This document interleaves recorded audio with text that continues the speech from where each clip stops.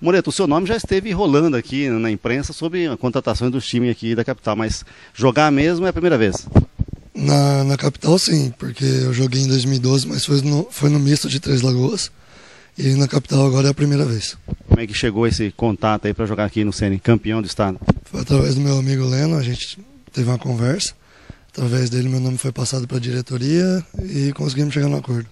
O CN sempre teve bons goleiros, né? Grandes passaram por aqui, Pedro Paulo, Washington e outros e, outro, e outros. E o Guilherme ano passado fez um belo campeonato, né? Chega com uma responsabilidade enorme, hein, André? Na verdade, sempre, sempre tiveram bons goleiros aqui, mas eu estou disposto a trabalhar e ser mais um aí dessa lista. Como é que foi? Como é que começou seu futebol? Por onde você passou? Começou em quando eu tinha 18 anos, fui para Portugal.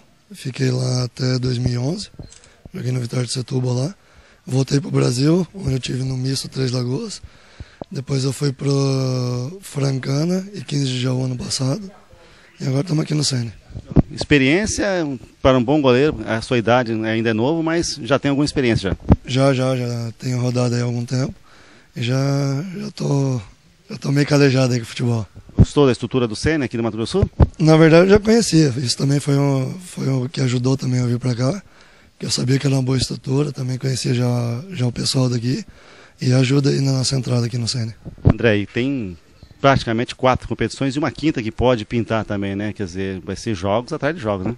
É verdade, isso é uma motivação a mais para nós jogadores, né? Quanto mais jogos para a gente é melhor e a gente espera dar uma boa sequência e fazer bons campeonatos.